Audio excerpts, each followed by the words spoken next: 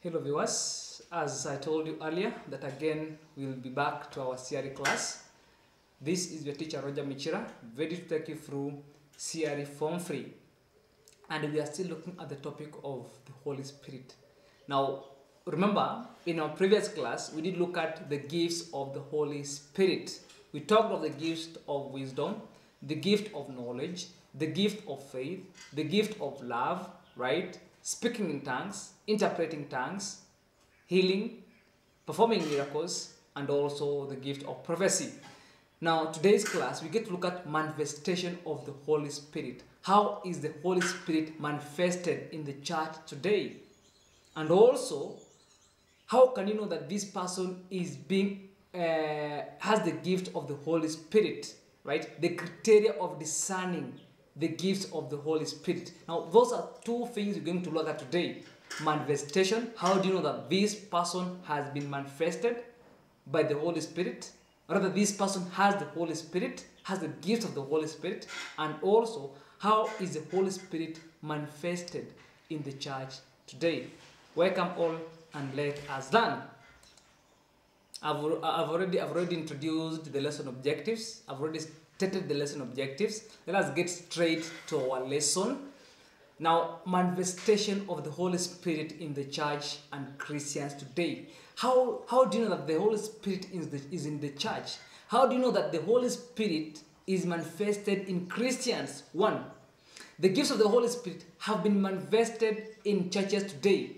We see these manifestations through people possessing the gifts of the Holy Spirit. Now, the manifestation is, is revealed when people or when Christians get to possess the gifts of the Holy Spirit.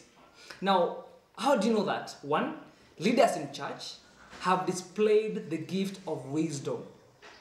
Remember, wisdom, this is the deep understanding, right? You have to have the deep understanding on the Word of God, right? You have that deep understanding on what God wants us to do, right? So, leaders in church have the have displayed the gift of wisdom.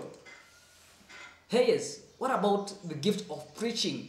Remember that those people who can preach till you see heaven has, has come down, right? Now, preachers and Christian ministers have been casting out demons and performing healing through preaching also.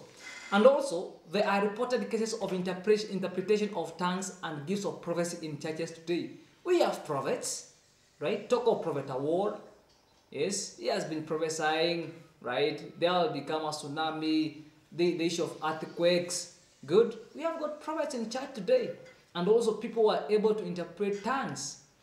Now also, the gifts of the Holy Spirit are manifested through healing, prophecy, gift of discernment, right? Boldness in preaching, and casting out demons among others. For example, who is who is bold enough to stand here and start preaching? Right? Anyone? You see that? You must have the gift of boldness.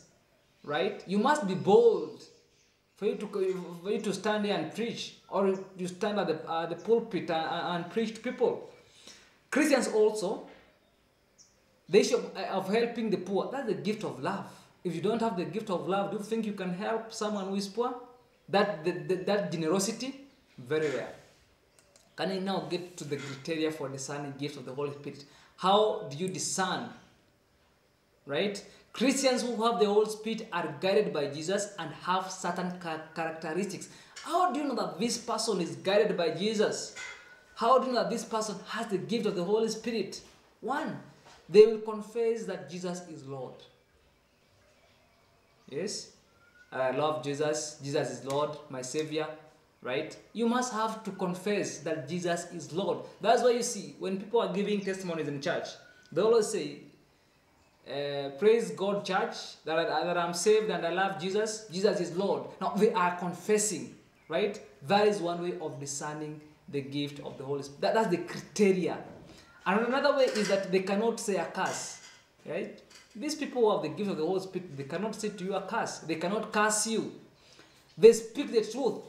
They worship God and behave in accordance with Jesus' teaching. These are people who speak the truth, right? They, they, they do according to Jesus' teachings. They are led by the Holy Spirit and are known by the fruits of the Holy Spirit. Yes, they have the fruit of love, they have the fruit of joy, they have the fruit of peace, they have patience, they are kind, they are humble, right? They have the fruit of the Holy Spirit. But later again, we get to look at what are some of these fruits of the Holy Spirit. Lastly, they do not do sinful acts such as sexual immorality. You cannot find them. The issue of fornication, the issue of adultery, the issue of incest. You cannot get them there. They do not practice idolatry and sorcery. Good. The issue of uh, visiting medians, right? Good. Now, that is the criteria of discerning the gift of the Holy Spirit. Now, class, for our task, can we get to explain how the gifts of the Holy Spirit are manifested in the church today? And as always, this is Elimu TV, your favorite learning channel. Thank you all for attending our class today. Let us see you in the next class in the topic number six. Thank you all and see you.